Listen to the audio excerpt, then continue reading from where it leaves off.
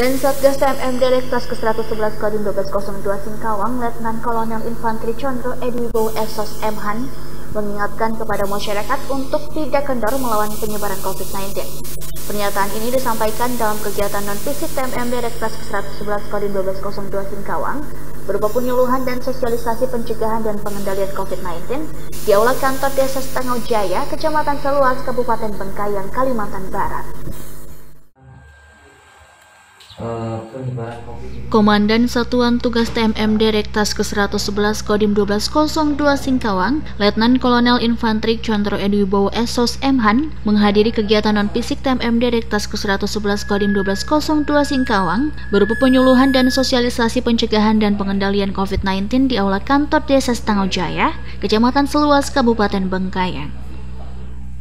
Dalam kesempatan ini, Letnan Kolonel Infanteri Condro Edwibowo Esos Mhan menghimbau kepada masyarakat untuk terus menjalankan pola hidup sehat dan menerapkan prokes pencegahan COVID-19 dalam kehidupan sehari-hari. Acara penyuluhan dan sosialisasi pencegahan dan pengendalian COVID-19 juga menghadirkan pemateri Velaria Maretive SSTP MSI selaku Kasih Perlindungan dan Jaminan Sosial Kabupaten Bengkayang. Berbagai tema seputar COVID-19 disampaikan mulai dari karakter dan jenis virus, pengenalan virus, cara pencegahan dan penanganannya dipaparkan kepada peserta yang hadir. Diharapkan dengan penyuluhan dan sosialisasi ini, masyarakat akan semakin paham dan memiliki kesadaran untuk meningkatkan pola hidup sehat dalam rangka pencegahan COVID-19.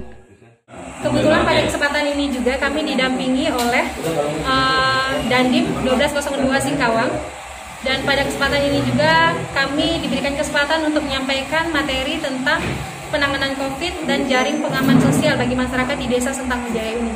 Kiranya apa yang kami sampaikan kepada masyarakat bisa bermanfaat dan bisa menjadi wawasan serta informasi bagi masyarakat setempat.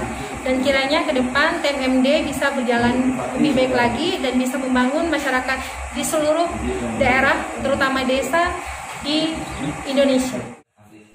Di tempat yang sama dan Satgas TMM Direktas ke-111 tahun 2021, jajaran Kodim 1202 Singkawang, Letnan Kolonel Infanteri Condro Ediwibowo Esos Mhan, menerangkan pentingnya kepedulian dan tetap menerapkan protokol kesehatan agar mampu menekan perkembangan pandemi COVID-19 yang mulai meningkat. Tim Liputan melaporkan.